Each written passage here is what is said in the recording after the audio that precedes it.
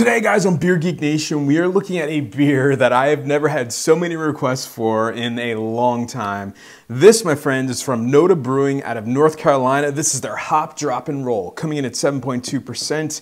It's an India Pale Ale that just won the very, very coveted Best IPA. They got the gold medal at the 2014 World Beer Cup. They got it for this beer. I think they beat out something like 230 other beers. It's one of those categories that can really just set your brewery off in the right direction. And I think that is going to do that for them. I got to give a big thanks to John for hooking me up with this. He really, really wanted me to review this beer, so he sent two cans over. I can't wait to have this one. I've heard great things about it. You guys are telling me I need to have it. So without further ado, let me get into a glass so you guys know how it smells, tastes, and give you the final verdict on the NoDa Hop Drop and Roll. All right, guys, so the aroma on the Hop Drop and Roll. Oh man, wow. I think they said they use, yeah, in this one they're using Citra Amarillo, Centennial Warrior, and Chinook in 10 separate editions, and you get that big time. You get a citrus flavor, you get grapefruit, you get pine, you get a big dankness to it. But I'm also getting a big kind of toasty, bready maltiness to kind of balance everything out. An absolutely epic smelling beer, wow. All right, guys, so the taste on the NoDa Hop Drop and Roll. Cheers. Oh yeah, that's really nice. Right at the front of the tongue, big hop bitterness, grapefruit, pine needle, a little bit of an orange juicy sweetness in there.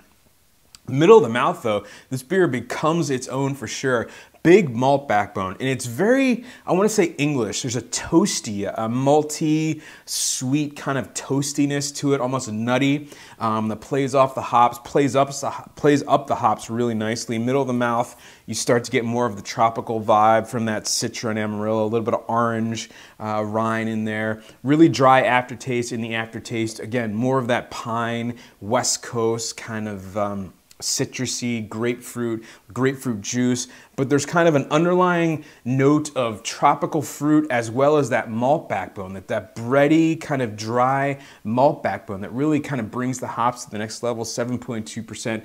Very, very drinkable, very refreshing. This one is going down almost too easily. A really, really nice IPA. Awesome stuff. All right, guys, so the final verdict on the NoDa Hop Drop and Roll, 7.2% available year round from them. And I got to give a big thanks again to John for hooking me up with this one. Guys, this one is getting an A. This beer has the one thing that I think a lot of people look for in an IPA, and that is balance. It's got big hoppiness. It's got a big malt backbone, and in the end, they complement each other and just come together to form this, you know, symphony of what a great IPA should be. Big citrus flavors, big kind of breadiness to help cut some of the bitterness, and it just works. It's an awesome beer. You know, this is the beer that really started for them, and I think this is the beer that's going to take them to the next level. So awesome, awesome beer, guys. Thank you so much again for watching, getting an A for me. And remember, folks, life's too short. Drink amazing beers. Cheers.